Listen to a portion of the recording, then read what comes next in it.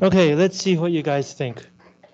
The first question for uh, group two, why does the essay begin by describing the author's personality? What do you think?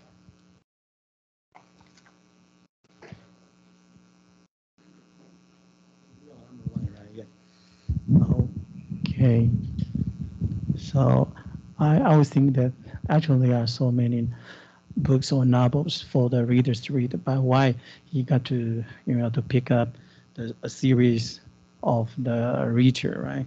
The Jack, the Jack Reacher series book. So I would think that at the opening we can see from the first sentence he say, "I'm not generally speaking a person who looks on the bright side of things." That means maybe he's not so positive, not so active. When he faces things, he always look down, right? So I was think that, and the, and the second, on the page two, he also introduced some information from the Jack Reacher, and he also provided some background information for us. I was think that maybe he would like to pick the author. He would like to pick the, the, the books like this series. They would send, I think that they would share the same similarities. He may be part of maybe he was saying that uh, the Jack Reacher is part of himself in his characteristics, and uh, he also tried to read the books. I was thinking not only maybe he liked the books or he's interested in these books, but I was thinking that more there's more to do is that you want to use the books to maybe to to to him to heal himself. Yeah, because he, I think that the, at the end of the story is that uh, maybe he want to be the, the what's that the Jerry Reacher. He's not fear loneliness, right? And he will be just like him, right? So that's what I'm thinking. Thank you. Uh, so group two gave us a two-part answer. Um, the first part of group two's answer is that maybe the author is explaining why she is attracted to reading this kind of book. So as group two mentions, the author's description of herself is not a not an optimistic person, doesn't always try to see the bright side of things. And when we think about Jack Reacher, this character, uh, we also can't say that he's optimistic. We can't say he's pessimistic either, but he's not optimistic. So this kind of uh, shared personality between the author of this essay and Jack Reacher, the main character of the novels, seems to be one way for the essay to introduce us to the character through the author. We, when we start reading the essay, the author is the first person we meet. So through the author, we might uh, already be familiar or more familiar with the kind of person that Jack Reacher is. I think that makes sense. The other reason group two gave us is that by the time we reach the end of the essay, we realize that this is not an essay about Jack Reacher, right? The title of the essay is My Year with Jack Reacher. So there are two people in the title, Jack Reacher and the author. And it by the end of the essay, it turns out that this essay is about that relationship. The group two says that the author seems to be trying to heal herself by reading these novels. Uh, and so because the focus is also on the author, it makes sense to begin by introducing the author as a person, not just as a guide or a writer. So not just someone putting words on the page, but a living, breathing person that we should think about when we're reading the essay. And that helps to prepare us for the main topic, which is not just the book, but also the relationship between the author and the book. Yeah. Okay, thank you. Uh, other groups, would you like to add your ideas to this question?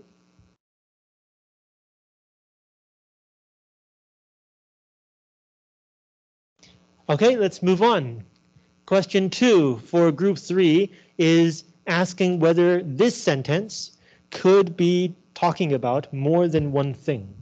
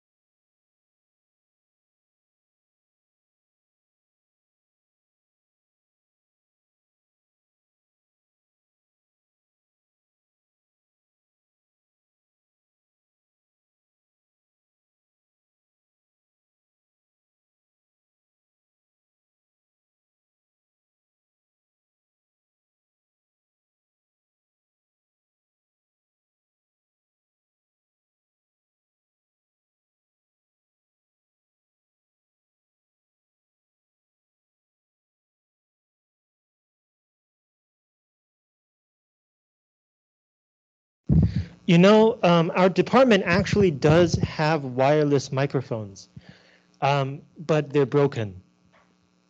So I have to run around. Sorry about that. Um, so group three gave us two answers. Um, and in this part of the essay, uh, this is page three, second paragraph, four lines from the bottom. So the sentence begins, short sentences. Short sentences with minimal punctuation. Eventually you get used to it. It's amazing what you can get used to given enough time. So this is the first thing that this sentence is referring to, right? Short sentences. Uh, but group three thinks that it could be referring to some other things also. Uh, it could be referring to the fact that the author is in quarantine alone. Uh, if we go back to page one, first paragraph, line one, two, three, four, five, six. In the middle, she says, as it became clear I would have to spend some significant time staying in my apartment. As it became clear means that she discovered this fact. She did not plan to do this. It happened to her. So maybe this is also something that she has to try to get used to over time. Uh, and this is a very important change for her life. By the end of the essay on page seven, uh, it says the, the middle paragraph, two lines from the bottom, in the middle, his loneliness does not kill him. He barely notices it at all. I would like to stop noticing mine so much. So quarantine is really having a negative effect on her. She feels very lonely by herself. And in the essay, it also talks about how she feels depressed, can't really do things in her life normally. So this is really a big change that um, she also has to try to get used to. By the end of the essay, has she gotten used to quarantine? Not yet. So when she says it's amazing what you can get used to given enough time, it's not describing her loneliness. It's a kind of hope. She hopes that with a little more time, she can get used to this. And then group three also gave us uh, one other answer. Something else that she might still trying to be get, uh, getting used to. And that is her non-existent relationship with her father. Um, starting on page five, thank you. Um, she introduces the topic of fathers in general. Uh, the connection is that Jack Reacher often says a lot of bullshit, and she has observed that many fathers also seem to have a lot of this kind of bullshit. Um, and slowly we understand that her own father, oh, she thinks about fathers in general because she doesn't really have her own father that uh, she can think about. We see this on page five, the middle big paragraph, one, two, three, four, five lines from the bottom. So here she's talking about the kind of bullshit that um, Jack Reacher and the author Malcolm Gladwell like to say. And here she says, uh, Reacher loves this kind of thing. Would my dad? I don't know. I can't remember him ever reading a book when I was growing up. But perhaps that's changed now. There's so much I don't know about him. But I've always assumed I would have plenty of time to find out. I don't assume that anymore. So from these few lines, we can tell that she is no longer close with her father. She basically doesn't really talk to him. And that the pandemic, being in quarantine, has made her rethink her situation with her father. She used to assume that one day uh, she would repair her relationship with her father. But now that the world has changed so much, so fast, she doesn't think that it will always be possible in the future.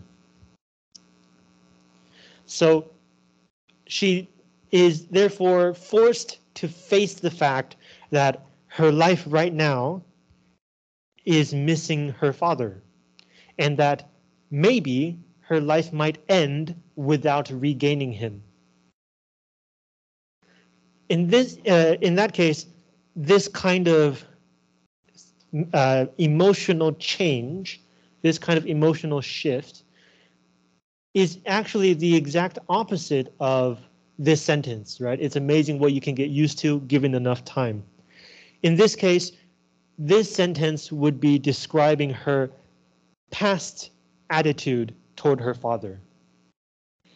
Uh, something like, how come I never felt it was important to try to repair my relationship with my father?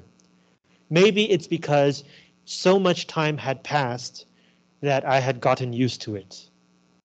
But now that the pandemic is here, I have to re-examine that habit, that old relationship.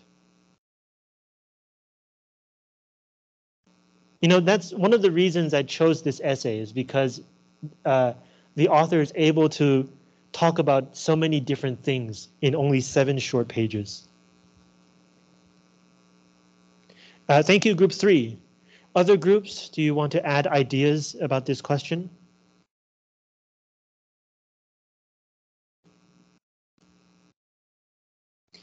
Um, I'm not asking to be polite.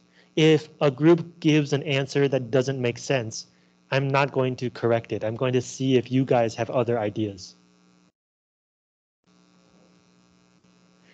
Okay, let's move on. Question three, group four. How would you describe the essay's style?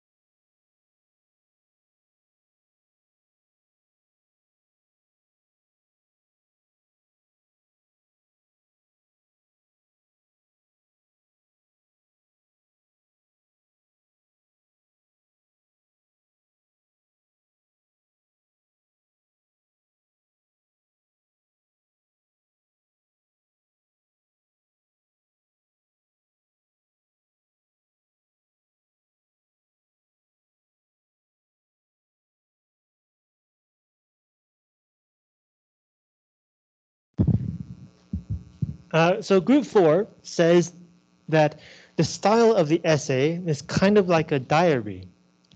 It's uh, personal. The development, uh, group four says it's freestyle, but it's it's there's a plan. So we can't really say it's freestyle. It's more associative instead of logical. So if you write an argument essay, your first point has to follow your second point has to follow your third point. But in this essay, the logic is uh, talking about this makes her think about that, and talking about that makes her think about something else. So there's a logic, but it goes in a different direction. Uh, associative thinking in Chinese, we call that uh, 横向思考, right? It moves sideways. Uh, and another reason why Group 4 calls it a kind of diary style is because of the sentence structure and grammar. It's not always perfect, right? They mention that some sentences are not complete sentences. We can also notice that sometimes uh, there's no punctuation where there should be punctuation, like they're missing commas, um, things like that.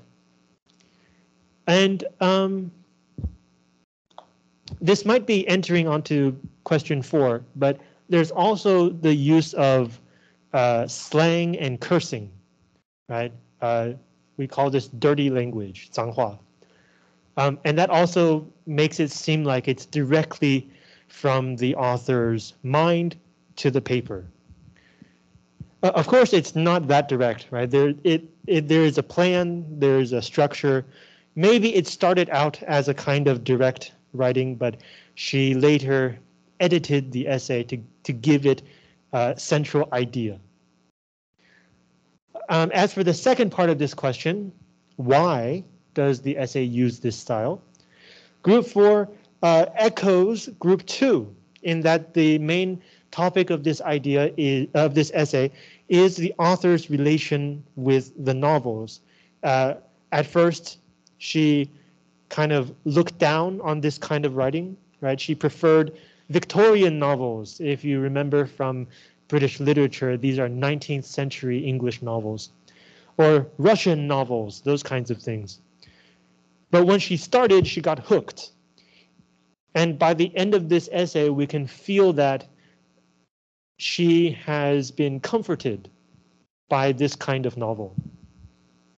And that kind of personal relationship uh, is best expressed using a personal style, right? If the topic of the essay is her own mental and emotional change, then it makes sense for the style to kind of be like a diary. Because a diary is usually the most direct record of a person's thinking and feeling. Right, good. Um, other groups, do you want to add ideas about this question?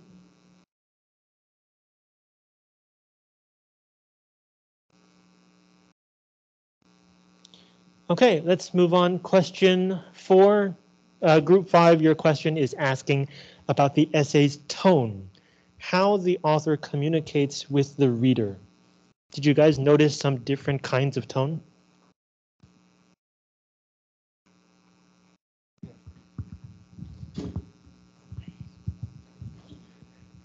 Okay, hang on. If you're watching the video from home, I'm currently struggling with the microphone cord. Okay.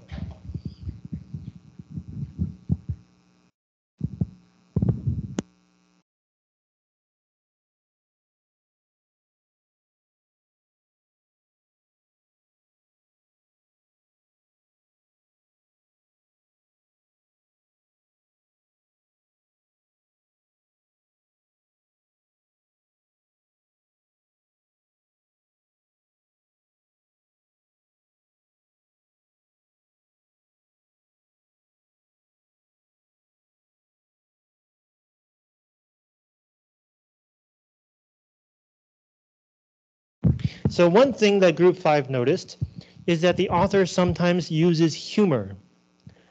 Uh, not by telling jokes, but sometimes her way of writing, or we could say way of speaking, is a bit sarcastic, or maybe a bit ironic, sometimes even a bit absurd. Um, the best example is the last line of the essay. She's just finished talking about uh, how reading about Jack Reacher, who doesn't care about his loneliness, she hopes this could help her get used to her loneliness. And then the last two lines. Or maybe I just want to go around punching people in the face. She's obviously joking.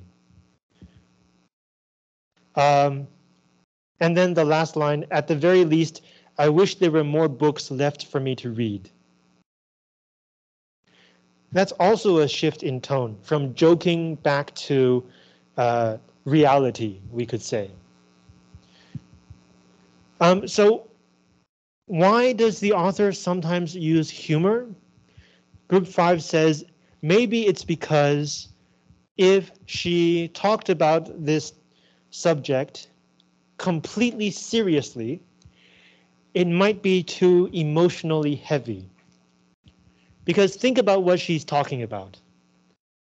Global pandemic, being depressed all day, every day, can't take a shower, can't do the dishes. Being alone in the house 24 7, uh, realizing that she doesn't have a father in her life. Like all of these ideas are really, really sad. Um, and so if she were really serious and straightforward about these topics, the reader might not understand that this is only half of the essay. The other half of the essay is the novels, the Jack Reacher stories. So in short, if there was less humor, the essay might be imbalanced. We would focus too much on one side and less on the other. Um, and so like the example I was just reading uh, at the very end of the essay is exactly doing this. Just before the last paragraph, she's talking about how lonely she is. Uh, but because it, she doesn't want it to feel so heavy, um, she adds a joke at the end before concluding the essay. Another uh, similar place of humor is on page three. Uh, first paragraph, line five. Uh, let's start with line four. So she started reading uh, these novels. I gobbled them up, taking a Reacher book everywhere I went. I read them in bed, on the couch, back in bed. That's also a joke. Um, when she says, I took the book everywhere I went, Usually we would expect her to say things like to the park, to the shower, to shopping. But of course, she's in lockdown. So everywhere she went is basically the bed, the couch, the bed. It's not too many places. So by describing her situation in a funny way, um, she can make us focus more on the absurdity of the situation. 这个荒谬性 rather than how scary it is or how depressing it is. That she would only go from her bed to the couch and then back to her bed. Does that make sense? So that's one way that uh, that's one reason why she changes tone from one place to another. There's also a place, some places where um, her tone shifts to more serious, to more informative kind of like the essays that you guys practice in essay class. Um, from page four to page five, when she's talking about the different kinds of bullshit uh, that dads and Jack Reacher like to say, that's an example of a more serious tone. And that place uses a serious tone because it is new information. And so she wants us to take it seriously. She doesn't want us to treat it as a joke. Okay, thank you, group five. Do other groups want to add ideas to this question?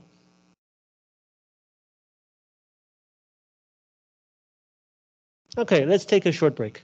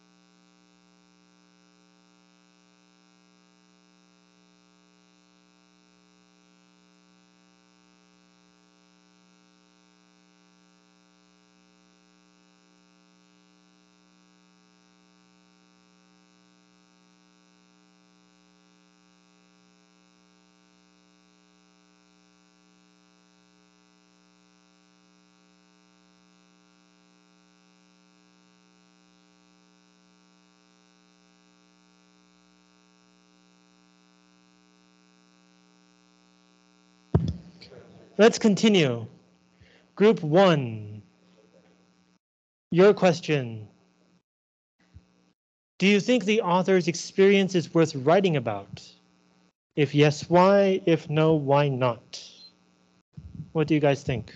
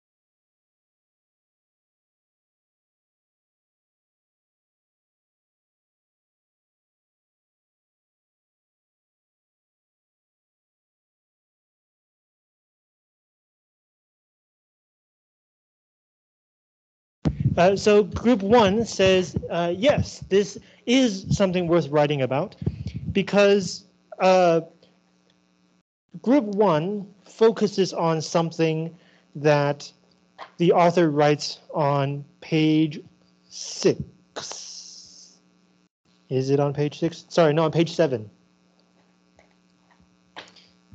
Uh, page seven, the second paragraph, first line the author writes, lots of people have used fiction lately as a way to confront and master their fears. And so for group one, this is something that the author is also doing.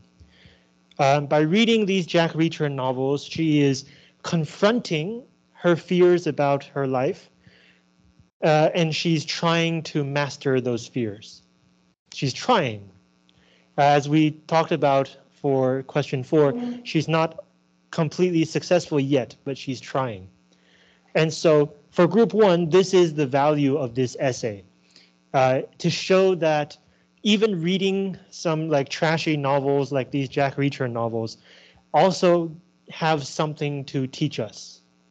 Uh, as they said, it's a simple story with a not so simple lesson. Uh, and I would add a little bit to that answer, which is this essay doesn't just tell us that we can learn from fiction. It shows us one person's journey uh, of learning from fiction or getting something valuable from fiction, even if it's not knowledge or some kind of skill. I mean, she talks about knowledge and skill, right? Knowledge, which turns out to be bullshit, skill in fighting, which she's probably not going to use. So if she does learn something from these novels, it's probably not knowledge or skill. It's probably something like uh, self-understanding, understanding her life situation and um, what she has to do in order to continue uh, living her life in a satisfactory way or an acceptable way to herself something like that. If it were easy to put into words, uh, we wouldn't need to read the essay, right? I could just tell you. Um, I have a follow-up question for group one. So you guys gave a pretty good answer about why this topic is worth writing about. Some people might disagree. why do you think some people might say it's not worth writing about?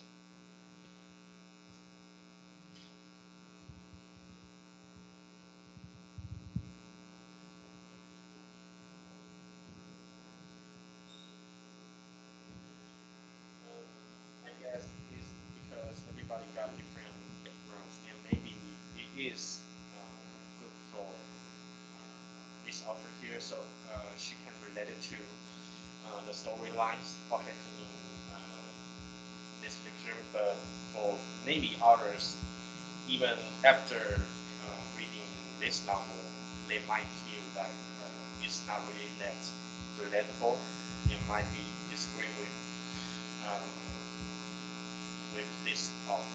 So, but I guess it all just depends on uh, if you can relate it to the story or not, to read something from it, or to find uh, the definition of self-learning, something else. Yes. Okay, thank you. Um, yeah, I think that makes sense. So group one's answer is that um, whether or not it's worth writing about or worth reading depends on the life situation of the reader. Um, from the beginning, we've been talking about the personal perspective. Uh, and so perhaps the kind of reader who would find this essay valuable is maybe the person who feels a lot of similar emotions. Um, this essay was published in March of 2021. Uh, at that time, there were still many people in lockdown in the United States. Uh, and so we can assume that many people felt similar emotions, loneliness, scared, worried that they may not have the chance to repair old relationships. Uh, but group one says that not every person would be in the same situation.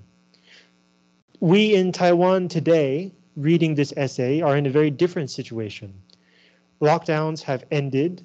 Uh, we mostly go about our daily lives like normal, just uh, a little bit more anxiety, but generally uh, more normal than the author at that time. So perhaps when we read this essay, it, it does not connect so immediately or so directly. And for someone who was in lockdown with their favorite friends and family together in one bubble, uh, or someone who has had a happy childhood and is still in close contact with their parents, uh, these emotions might be unfamiliar. So when I ask a question, I always try to make sure that both answers can make sense. And we can see how, uh, even though this essay is something that I think is a pretty good essay, and I chose it for this class, um, it's perfectly okay to think something else, to think that this essay doesn't apply to me. I don't feel anything. Why are we reading this? But these kinds of thoughts are also worth talking about because they are also one kind of reaction to literature. There's a lot of so-called great literature that's really boring. Um, and yet it is still great because we can talk about why people used to think it's great, but now many people think it's boring. What has changed in society and in history so that we no longer look at a classic piece of literature in the same way? That's part of uh, one reason why it's classic, because it can support that kind of discussion. By talking about these questions, we can still reach some meaningful ideas, even if those ideas are not conclusions.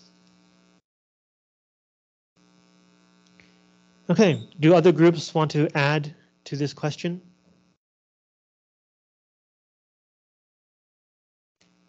Do you guys have other thoughts about this essay?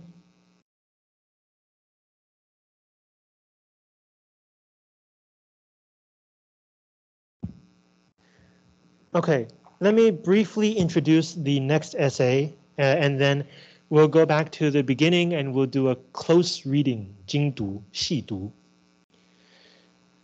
Next week, we're going to be reading an essay by Gretchen Felker Martin called I Don't Want to Grow Up and Neither Can You. Uh, Felker Martin is a cultural critic. She talks about films and books, things like that. Um, one of the uh, there are two important things to keep in mind uh, when we read her work.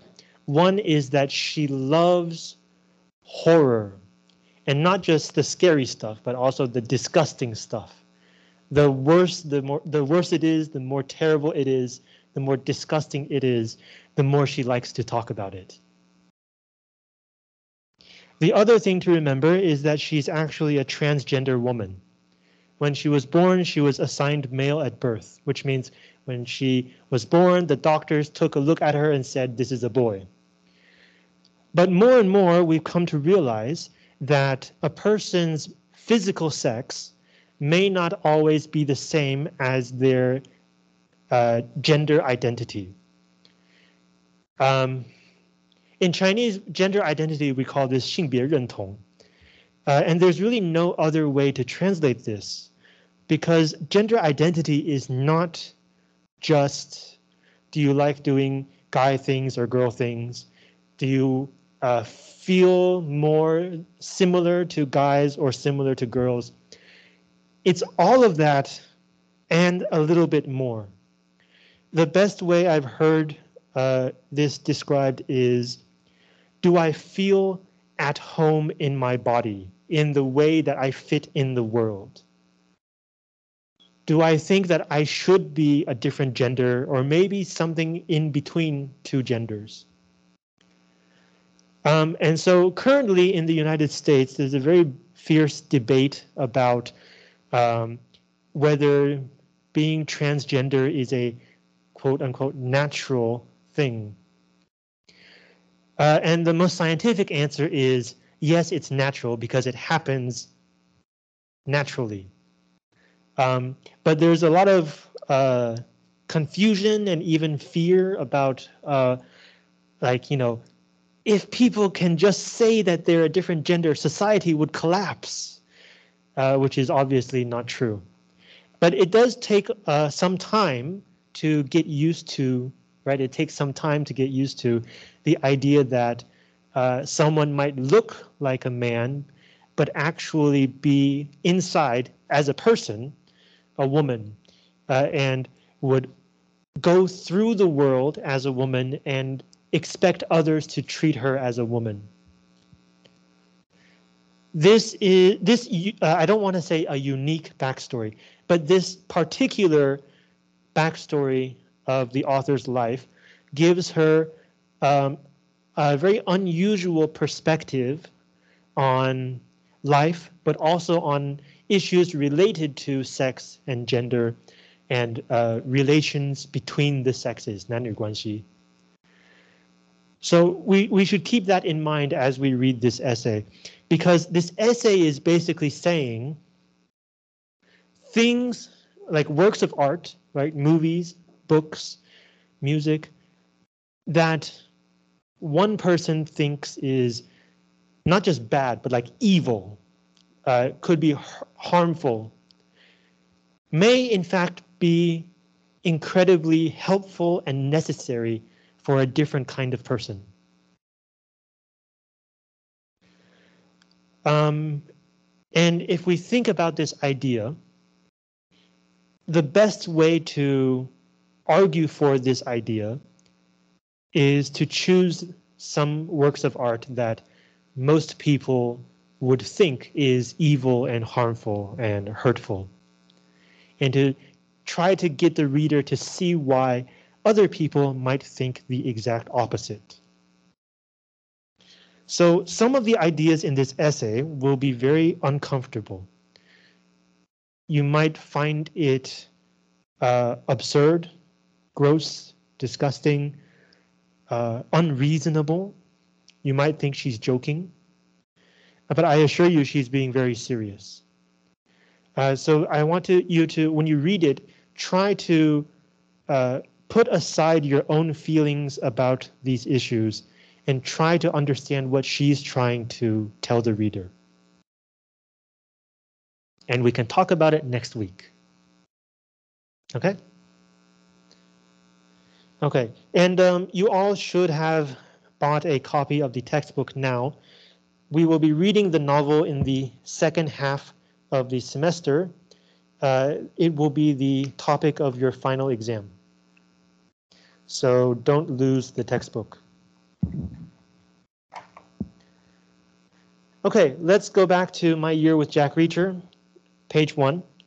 And um, I will do the traditional English teacher thing.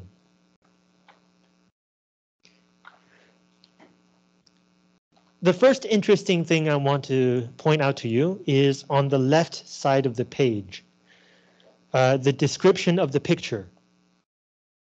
We call this a caption. You can see the subtitles on the screen, a caption. Um, it usually tells us where the picture comes from. So here it's uh, the photo photographer's name is Toru Yamanaka. AFP is the French press, 法联 Faxing so. Um, so this is where the picture was created, but the it's probably the editor. The editor got this picture from a company called Getty Images. So there are companies out there who buy up lots and lots of pictures. And so when you need to use one of those pictures, you have to buy it from the company. And Getty Images is one of those companies. So usually a caption will have the source of the image, and then it will describe the image. And this is the description. This is Tom Cruise pretending to be Jack Reacher, even though he's way too small to be Jack Reacher. Uh, usually the description should be objective and short. But in this case, the description is very subjective. It has an opinion about this picture. So immediately, even before we begin to read the essay, we already have a sense of the style and the tone of this essay. Very subjective, personal, and in many places, not very serious, right? More humorous, more ironic. Uh, especially the word pretending. Tom Cruise is not pretending to be Jack Reacher. He's acting as the character Jack Reacher. Calling it pretending is kind of like insulting him as an actor. And that's part of the joke. Because he's too short, we can't believe in him as Jack Reacher. So we kind of laugh at him like he's only pretending. Okay, line one. I am not generally speaking a person who looks on the bright side of things. The words generally speaking are also a joke. Um, if actually, if you ever have the chance to go on exchange to the United States, it might surprise you how much of daily uh, everyday English is just joking.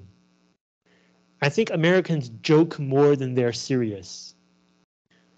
Um, usually it's very subtle, right? It's not very obvious. It, the choice of words, the tone of voice, uh, the ways that sentences are put in order can all reveal some kind of humor. Here, generally speaking, is a joke because this sentence is a very general sentence.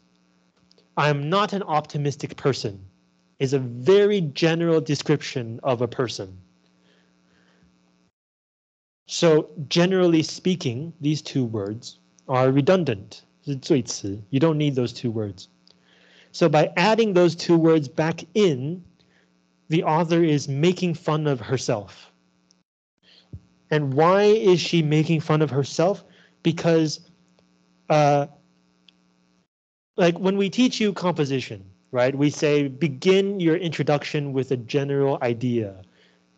Um, and they teach the same thing in the US high school as well. And so everybody who goes through high school learns this rule, begin with a general statement. And it then becomes an example of so-called uh, school uh, schoolboy writing, right? Student writing. In other words, not good writing. So when the author begins this essay with a general statement, with a statement that is not considered good writing, she acknowledges that this is not good writing by pointing out why it's not good. So she's laughing at herself. But by some magic of writing, if you point out that you know you're not doing a good job, that means that you're actually doing a good job. Um, it's like this. When we think about, is this good? Is this piece of art good? Is this piece of writing good? We're talking about two things. The writing itself, judged according to some standard that maybe we can agree on. And the intention of the artist. What is the artist trying to do? or the writer. What is the writer trying to do? So a bad work of art would be something that looks bad and the artist doesn't know that it looks bad. That's the worst kind. The best kind is, of course, something that looks awesome uh, and the artist knows that it looks awesome. But in between, you have the kind of art that looks bad and the author knows that it looks bad the fact that it looks bad is part of the design of the art. Uh, one example is so-called pop art, 波普艺术, Andy Warhol. If you guys remember from world history class in high school. Um, so by pointing out that she knows that this is not good writing, it makes the writing better. It's part of her design.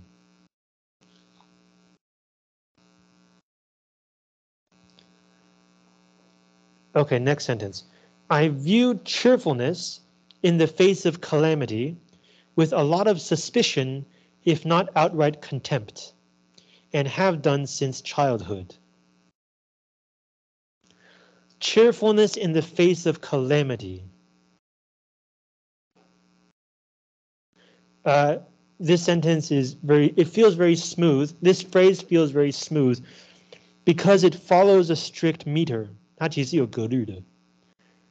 呃、uh,，in the face of calam 呃、uh, cheerfulness in the face of calamity. It's two unstressed syllables followed by one stressed syllable. 就是两个音节，两个轻音节，一个重音节，有这样的格律。Um, usually when English pays attention to this kind of pattern, and there's some kind of regularity, 某一种规律, it feels more smooth. It feels more natural. So her choice of the word calamity does this job. She could have chosen another word, right? Disaster or bad things. But calamity fits the meter very well. And there's also like a, an echo of the two L sounds cheerful, and calamity. So that's why this word is better than the word catastrophe. Cheerfulness in the face of catastrophe would have one L and one T. It doesn't feel like it fits together.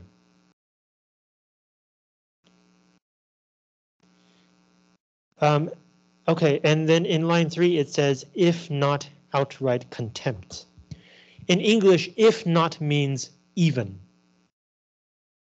So when she says suspicion, if not outright contempt, she means suspicion, even outright contempt. To view something with suspicion means you don't really trust it. You don't think it's quite right. Uh, and then near the end of this line, and have done since childhood. This sentence tells us that she's Canadian. American English would say have done so 如此做, since childhood.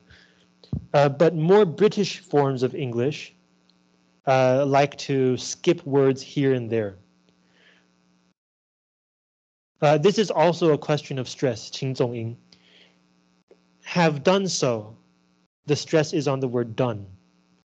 But have done, the stress is on the word have. American English would never stress the word have if, if it can avoid it, uh, because the word have is not the main verb. It's an auxiliary verb, as a 助动词. And uh, American English does not like to emphasize auxiliary words like has or is. So the fact that she chose to emphasize the word have here tells us that her first English is not American English. But it sounds very similar to American English in many different places. So my guess is that she's Canadian. 加拿大人.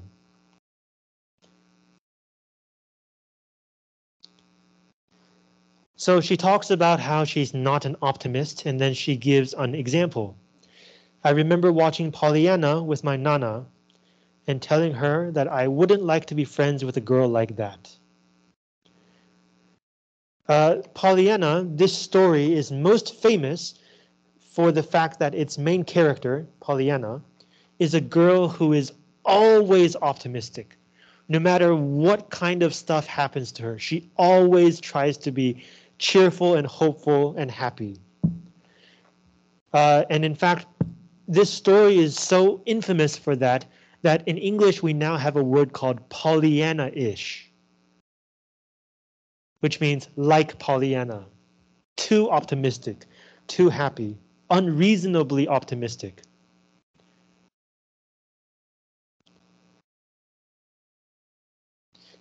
Uh, and this sentence also foreshadows the fact that maybe her family situation is not very happy because she's watching Pollyanna with her grandmother, not her mother.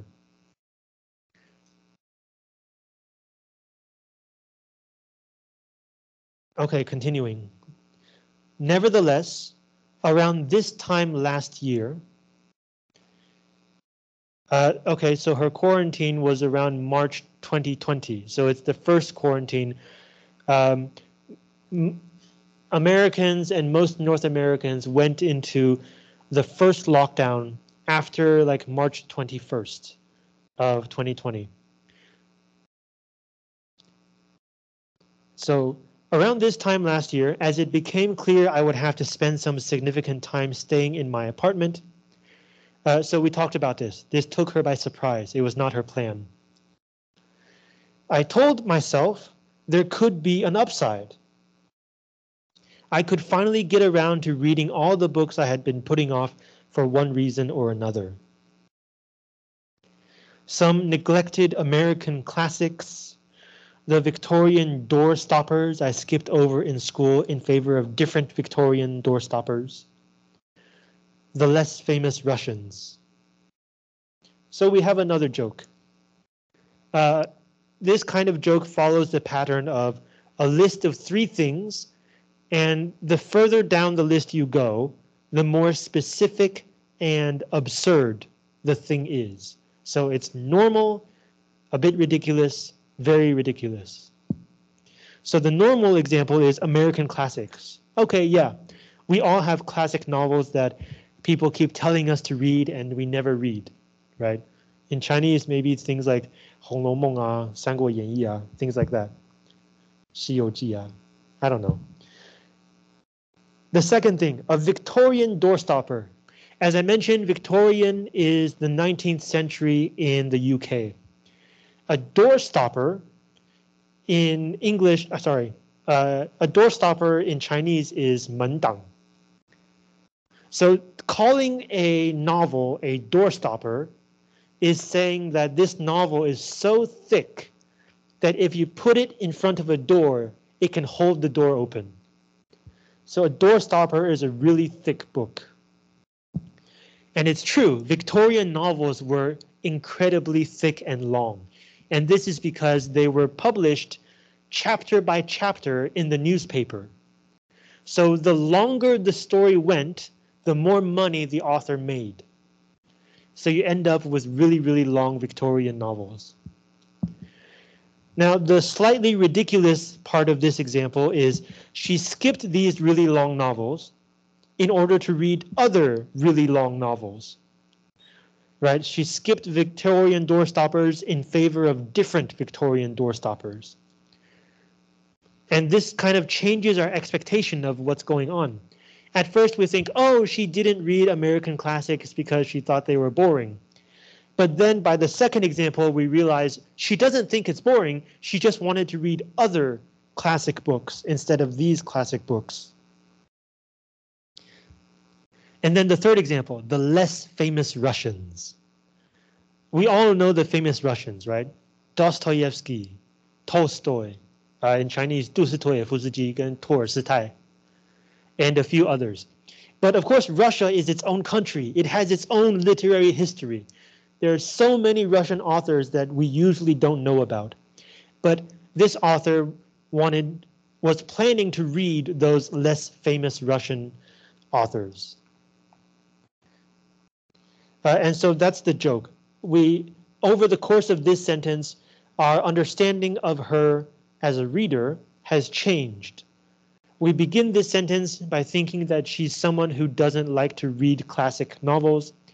We end the sentence by realizing that she doesn't like to read classic novels because she thinks they're too easy and too boring and she wants to read something harder. Uh, so by playing with the reader's expectations, it's a kind of joke. It also tells us something about her as a reader. Uh, first, she does read, and secondly, uh, she likes to read uh, hard stuff precisely the opposite of the Jack Reacher novels. And so that opposite, the idea of something completely opposite, is the topic of the next paragraph. I have not read any of those. What I have read is 24 books about an enormous drifter with comically large hands who is good at dispatching people. So a drifter is someone who doesn't have a home and wanders from place to place. Uh, to uh, the closest word in Chinese is driftwood, 漂流木. To drift is 漂流. And he's enormous, right? She will later tell us that Jack Reacher is both tall and heavy. And he has large hands, comically large hands so large that when you see them, you want to laugh. Unbelievably, ridiculously, absurdly, funnily large hands. And he's good at dispatching people. Uh, usually dispatch means you send someone somewhere. But here, dispatch means you kill them or you get rid of them. Uh, I think the full phrase is you dispatch them to hell. 就是不只是派遣人，就是把人家派到地狱去，就是把人家干掉。 And so there's this is the the bigger part of the joke. She likes to read classic hard things, but she ended up ended up reading 24 of these trash books. Continuing. Lee Child's Jack Reacher series follows Reacher just Reacher, no middle name and barely a first one. Even his mother forewent using it As he travels across America by train or bus or hitching a ride. So this third paragraph is when we finally leave the author's personal experience and she starts telling us the main idea of these novels. This paragraph is essential to any piece of criticism, 任何评论. When you write a piece of criticism or like a review, 书评, you always have to describe what you are reviewing. Um, because people read reviews for two reasons. One is I just finished this book or this movie and I want to see what people think about it so I'm going to read a film review. The other reason is I've heard of this book or movie and I don't know if I want to see it or watch it. So let's see what other people think first. This is to say that some people who read reviews don't know what you're talking about, so you have to describe it for them. This is what uh, this paragraph does. It describes the Jack Reacher books so that we know what she's talking about. Uh, and the first um, unusual detail about the main character is that even his mother didn't use his full name. Even his mother call, just calls him Reacher. Uh, page 2, line 1, near the end, we have the word forwent. This is the past tense of forego, and forego means to give up.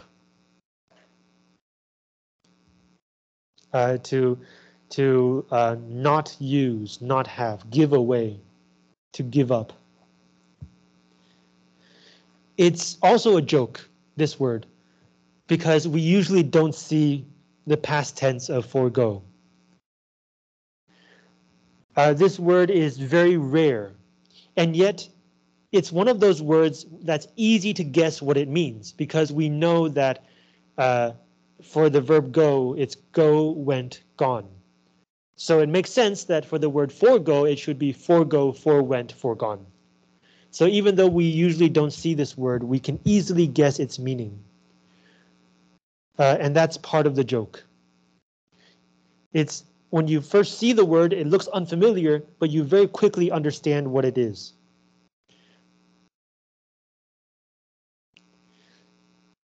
Uh, so we follow this guy as he travels across America, train, bus, or hitching a ride. To hitch a ride is to hitchhike, 搭便车. Uh, and you'll notice that he doesn't drive himself. He always travels by somebody else taking him somewhere. Uh, I want to add one thing. So it says that everyone calls him Reacher, his last name. In the old days, and by the old days I mean before 1960 or maybe 1970, it was considered rude to call someone by their first name. You would always call people Mr. Smith or just Smith. You would never call someone John.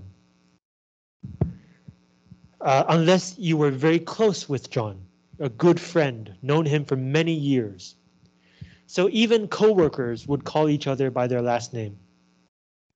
Um, and this, of course, has changed. Now we like to pretend that everybody is very close to each other. Um, but this is why when you read a novel in English, usually the character's name will be the last name. If you think about Harry Potter, the only three characters, well, not only, but like mainly the three characters where we see the first name are the three main characters, right? Harry, Hermione, Ron. But most of the other characters, we usually see their last name.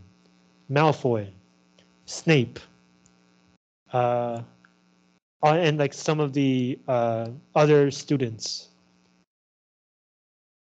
Cheng. And that tells us the distance between characters. We see the first names of the three main characters because they're very close.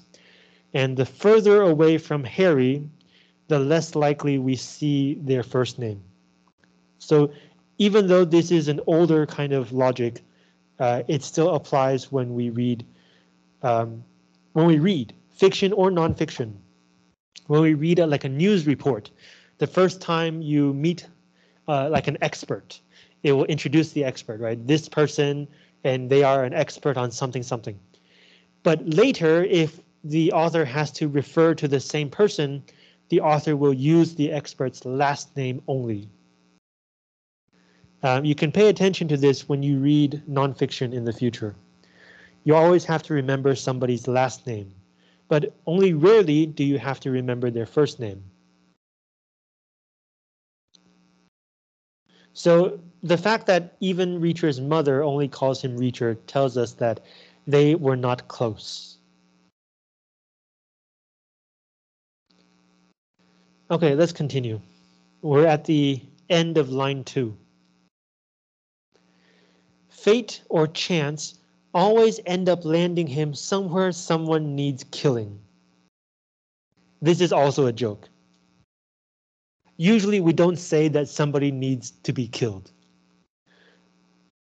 Right, everybody has a right to life. We shouldn't kill people. So when it says that somebody needs killing, uh, it's kind of a joke about how this is not realistic. It's more like a fantasy. It's pure fiction. Um, and only in a non-realistic fantasy fictional world would some people objectively and without any doubt whatsoever deserve to be killed. Um, and so by very casually describing uh, some characters like this, the author is using a, a joking tone to let us know that this world of the novel is very unrealistic and that we shouldn't think of the world of the novel as realistic.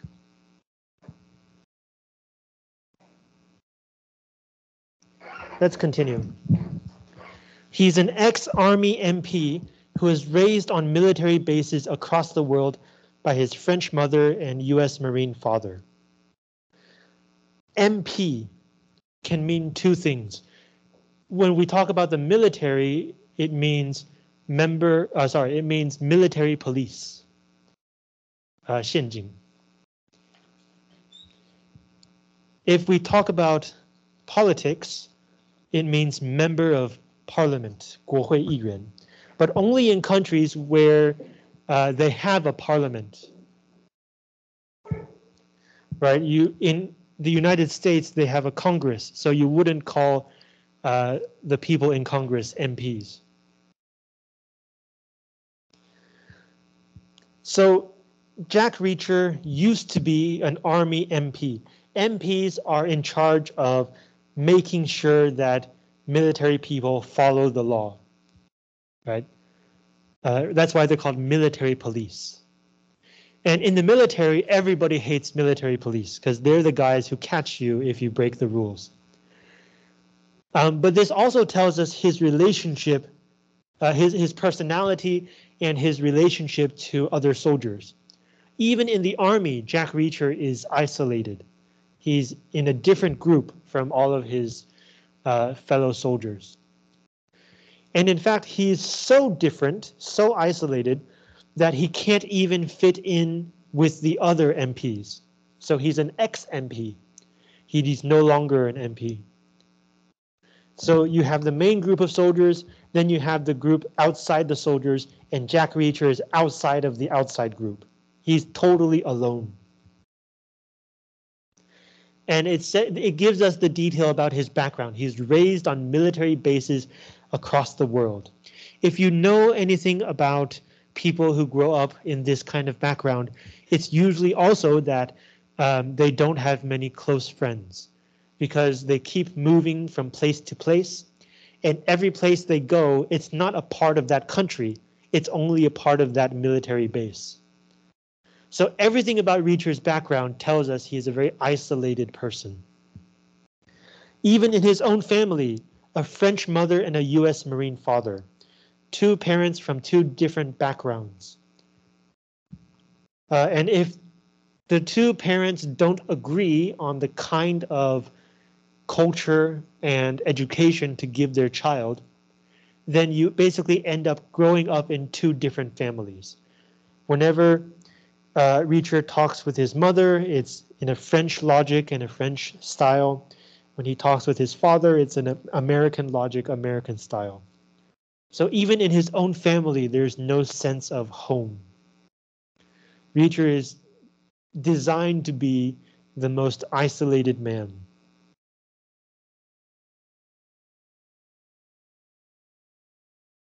Um, let's stop here. You guys have questions about this essay? Okay, so uh, please read the next essay before coming to class next week. The week after that, is a very long essay, 20 something pages. Um, if you want to start reading it before next week, you're very welcome to begin early. That essay is asking the question, when is it okay to not read a classic piece of literature? When is it okay to totally ignore a classic author? Okay, that's it. See you next week.